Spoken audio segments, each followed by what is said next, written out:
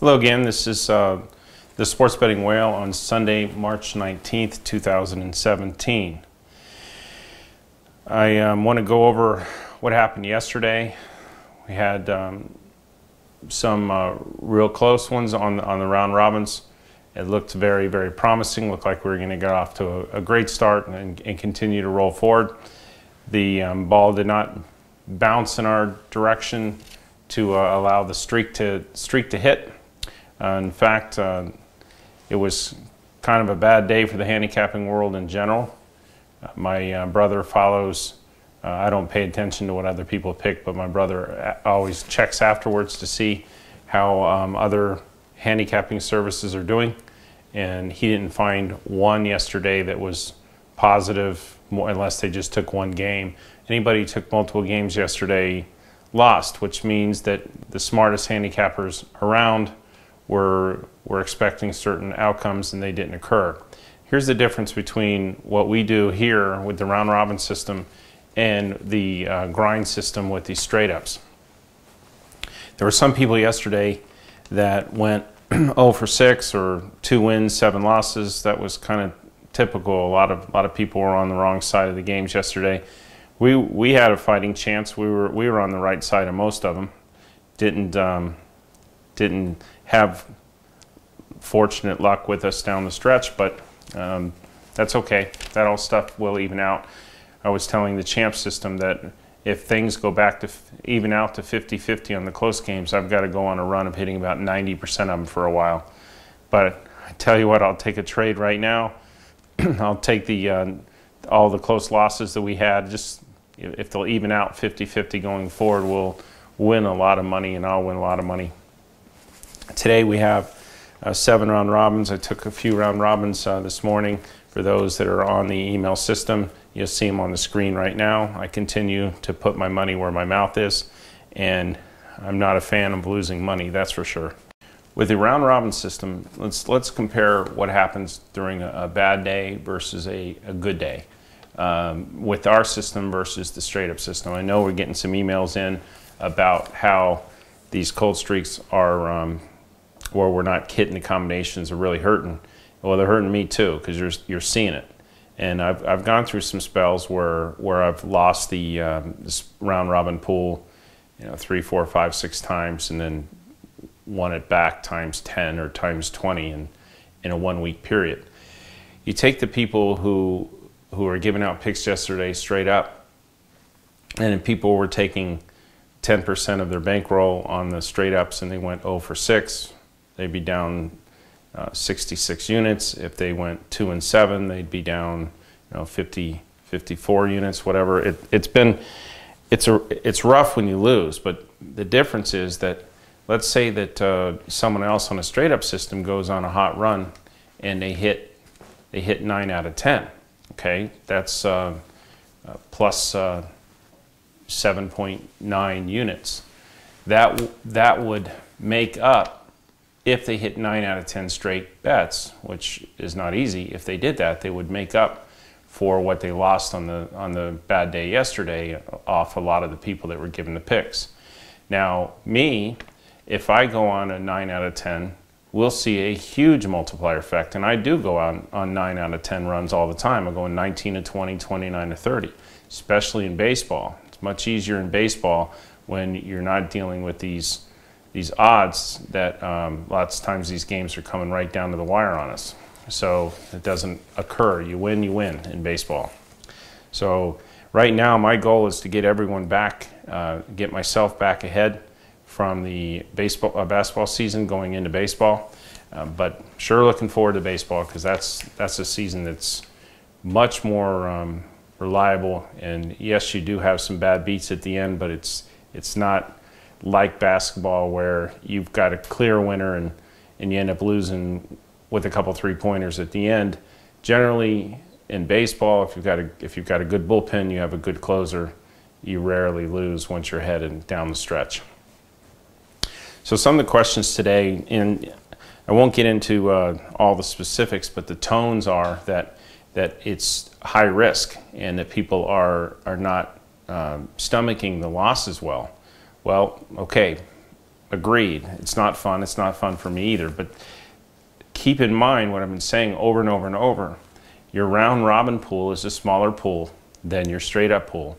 And it's a pool that if you can replenish it, you might replenish it three, four, five times before we hit a streak. Um, if you can't replenish it, you're only taking one fifth of that lower round robin pool and dividing it into five pools. So let's take an example. You have $1,000. You can't replenish it. So your, your round robin pool is $200. I'm recommending that you take 2% on each parlay for a total 8%. So you've got $1,000. Your round robins are $16. If you can't replenish it, they're $16. If you can, they're $80. So the amount we're, we're uh, recommending that you take on these round robins are an, an incredibly small percentage of what you have available. You could go and, and lose uh, two, three, four times uh, whatever, the, whatever you started with, and you see how fast it'll multiply. I mean, we can be up 100, 200 units in one day easily. Once we get on a streak, then you'll be in a position to replenish anything you've put in, bank it with a profit, and be on house money going forward. So for those that like the more consistent ride, um, then you know the round robin system isn't for you. I've been saying all along, it's not for the faint of heart. It's for people who want to take a shot, a realistic shot, because it always works for me, and it's worked for me for 25 years. It's not a lottery ticket. It's it's an it's absolutely a high probability that you're going to turn a small amount of money into a large amount of money. I do it all the time, and I continue to do it. Some people are asking, well, have the sports books gotten smarter?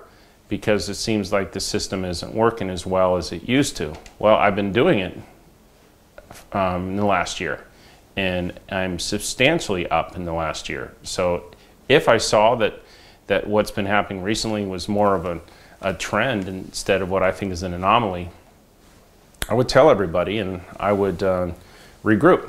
But I don't believe that's the case. And going into the baseball season, you'll see some fantastic returns going forward. Uh, one of the questions was, what kind of angles do you look for when handicapping baseball? I have a lot of angles I look for. Obviously, pitching is very important. Obviously, the bullpen and the relief pitching is very important. How the teams are hitting up and down the lineup is incredibly important. Teams go on streaks, cold streaks, and hot streaks on their hitting, and so you have to keep a real close eye on what's going on there. Uh, the champ system and, and the whale uh, share a, a very uh, fond appreciation for the revenge system too. When a team has been swept and then they play again, the odds of, of a back-to-back sweeps are ex extremely unlikely. Other, other factors, um, better home teams rarely get swept at home against a lesser opponent.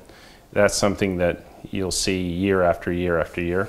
But what I do too is I lock into how the teams are doing from a hitting perspective on the road and a hitting perspective on at, at home and how the pitching staff's doing and how the bullpen I come up with a complete uh, number system on the odds of um, a team scoring X number of runs and how many I expect them to give up in the first five innings and for nine innings and then I compare it to what the odds are and based on that I know whether I've got a solid uh, percentage advantage or not. So you'll see all that kick in over the baseball season. It's going to be uh, a lot of a lot of fun.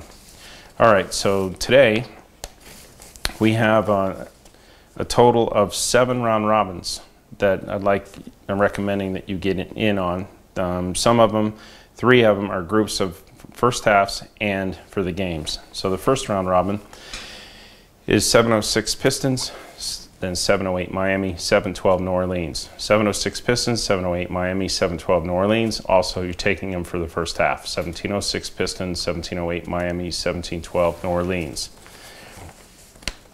In college, we're going to take 720 Duke, 718 North Carolina, and 728 Kansas. That's Duke, North Carolina, and Kansas.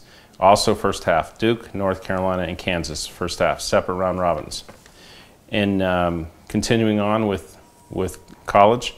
We're going to go with Rhode Island, Iowa, and Kentucky. 729 Rhode Island, 736 Iowa, 724 Kentucky.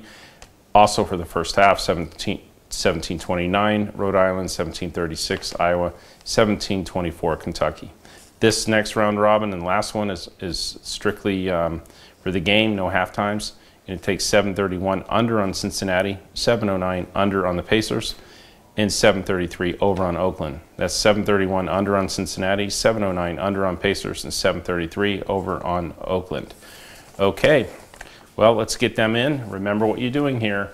You're taking 2% per parlay, 8% per group. Total um, on this one, it will be 56, 56 units will be in play here. And that's of your round robin risk pool.